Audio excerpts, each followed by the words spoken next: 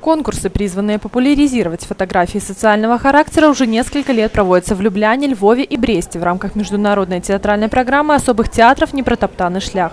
Остановить и оставить не только в памяти мгновения из жизни и творческой деятельности особых театров – такова основная задача каждого, кто принимал участие в конкурсе. Третий год подряд уже наш фестиваль дополняет еще и фотоконкурс э, «Театр в объективе».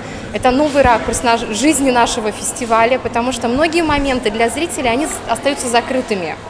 А, известно, что то, что мы видим, это наши впечатления очень быстро рассеиваются. Не зря мы на память всегда делаем себе фотографии с каких-то памятных, важных для нас встреч, событий. И нам очень хотелось, чтобы фестиваль, он максимально остался в истории.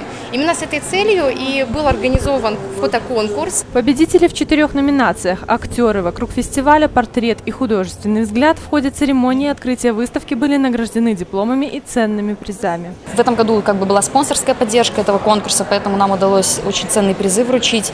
Э, значит, это будет э, первые места в номинациях, получат фоторюкзаки, вот, а главный Победитель, который победил в двух номинациях, получит э, сертификат на полтора миллиона рублей на покупку техники в э, фотомагазине.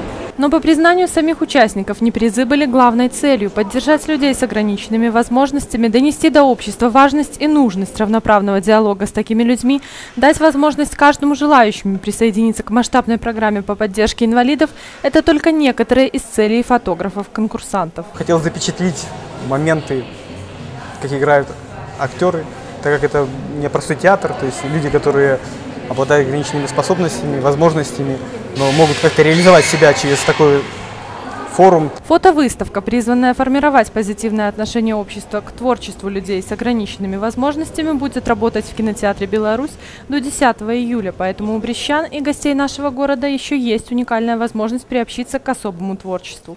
Лично убедиться в том, что порой люди с ограниченными возможностями обладают безграничным талантом дарить тепло и положительные эмоции даже через обычную фотографию.